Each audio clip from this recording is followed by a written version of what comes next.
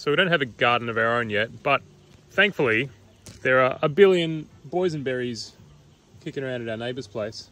You found any yet, Bren? Not yet. Hmm, I wonder where a boysenberry could possibly be. Have you found any, Bren? There's none. I wonder if there's any boysenberries around here. None. I'm still looking. There's not a boysenberry to be seen anywhere. I'm still looking.